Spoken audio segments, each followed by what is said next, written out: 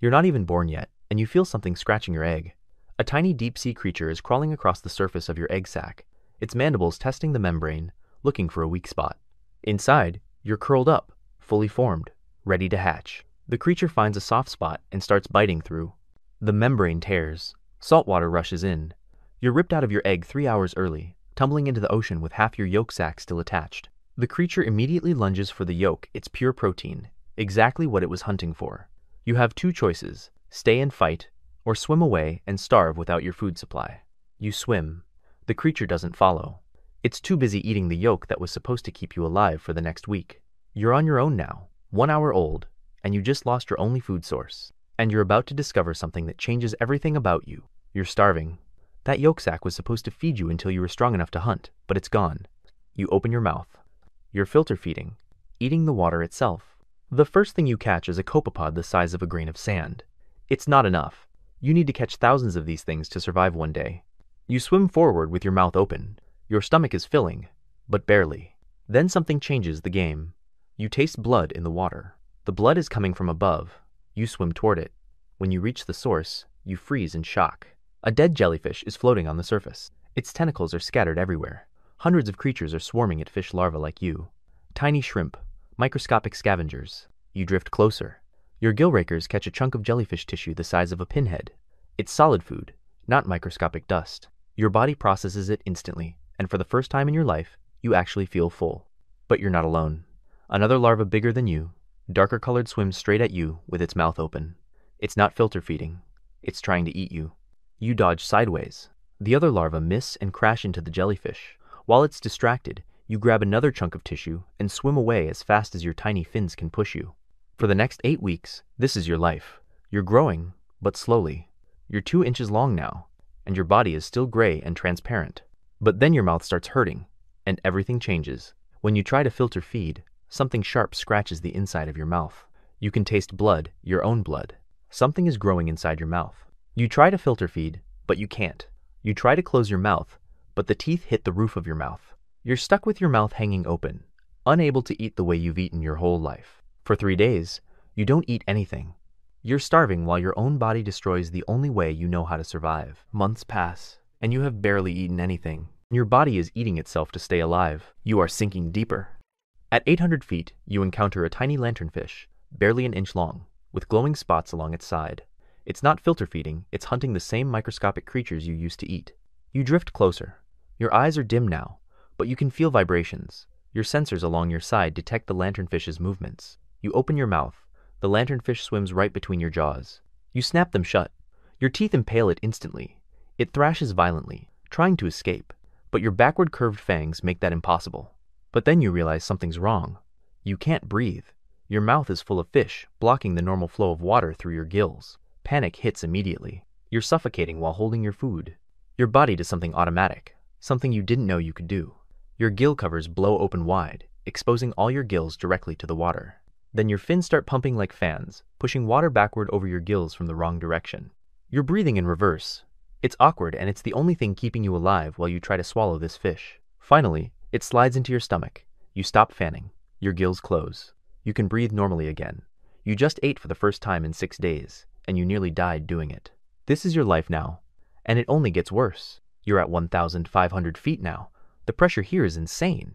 Your swim bladder, that little balloon of air that helped you float, couldn't handle it. Now, you're denser than water. You don't float anymore, you sink unless you're actively swimming. And swimming burns energy. Energy you don't have because you haven't eaten in three weeks. A hatchetfish swims past, its belly glowing bright blue. The glow illuminates you for just a second. That's all it takes. Something big detects the movement and charges. You dive. You dive straight down into darker water, your fins pumping desperately. You can feel its pressure wave getting closer. You are sinking deeper. At 3,000 feet, the thing chasing you gives up and turns back. You stop swimming and just drift, your body screaming from the exertion. Your ribs feel like they're bending inward. But you're alive. You've dropped so deep that almost nothing lives down here. It's safer, but there's zero food. You'll have to go back up eventually. You always have to go back up. Because the food lives where the predators hunt, and there's no way around that. Skip forward four months, and you've learned the pattern. Every night, you migrate upward, 3,000 feet up to 800 feet toward the surface to feed. It takes you four hours to swim up, and 4 hours to swim back down before sunrise. Tonight, you're hunting at 900 feet when you sense something perfect. A small squid? You drift closer, your ultra black skin making you invisible. The squid never sees you coming. Your fangs impale it through the middle. It explodes into action, spraying ink, its tentacles wrapping around your face. But your backward curved teeth have it locked. There's no escape. You start the reverse breathing process immediately. The squid is fighting inside your mouth, its beak trying to bite your tongue. You can't swallow it yet. You have to wait for it to stop moving. Five minutes pass, ten minutes, fifteen. You're burning energy you don't have. Your jaw is cramping. Your fins are exhausted. Then you feel something else vibrations in the water. Something big is approaching, attracted by the squid's distress signals. You can't see it, but you can feel it getting closer. And you can't run, your mouth is full. You're reverse breathing, and you're completely vulnerable. A tuna materializes out of the darkness, six feet long, its eye the size of your entire head. It's not here for the squid, it's here for you. The tuna charges. You force your jaws open, releasing the squid, and dive straight down. The squid shoots away in the opposite direction. The tuna has to choose chase the fast moving squid or the slow moving fangtooth. It chooses the squid. You watch your meal disappear into the tuna's mouth as you flee into the depths. This is the reality of having teeth so big you can't even eat properly. Every meal is a race against suffocation. Every hunt puts a target on your back. You can't grow new ones. If they break, they're gone forever. And they're about to break. You're hunting near 2,000 feet when you catch a lanternfish. Perfect size, perfect prey. Your fangs sink in. You start reverse breathing. Everything's going according to plan. Then the lanternfish does something unexpected. It bites back. Lanternfish chomps down on your right fang, right at the base, where the tooth meets your jaw.